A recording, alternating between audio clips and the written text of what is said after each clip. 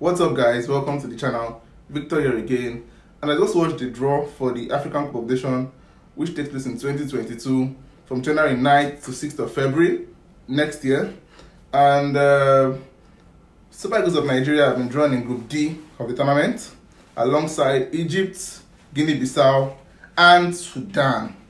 Nigeria will be hoping to win our fourth African Cup of Nations trophy when the competition starts. And um, in January, I just pity some teams in Europe because they're going to lose some fine players. You know, Liverpool probably end up losing Salah, Mane for, to the competition. Uh, Chelsea end up losing Ziyech and Mendy. Uh, Everton might miss Iwobi, or they might not, who knows. Watford might end up losing three players, you know, if Dennis gets called up.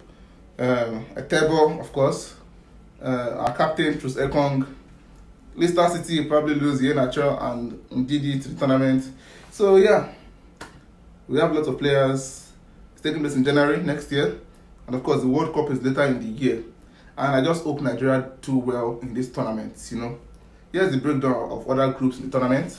In Group A, we have Cameroon, Burkina Faso, Ethiopia, and Cape Verde. In Group B, we have Senegal, Zimbabwe, Guinea, and Malawi. In Group C, we have Morocco, Ghana, Comoros, and Gabon.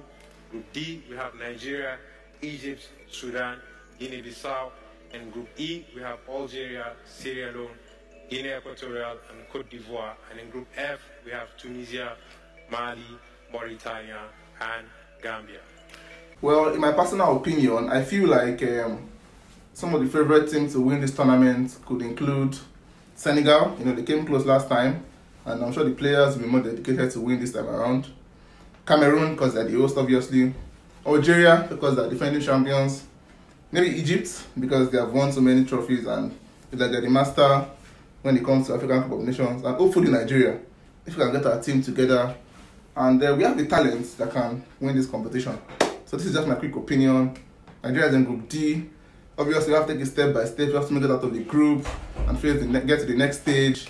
And um, yeah, the round of 16, uh, quarterfinals, semi-finals, and the finals. So I hope we end up winning this trophy in January.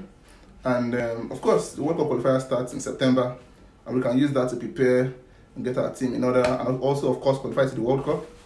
Now, yeah, that's just my quick opinion. Thanks for watching. Please don't forget to subscribe to this channel.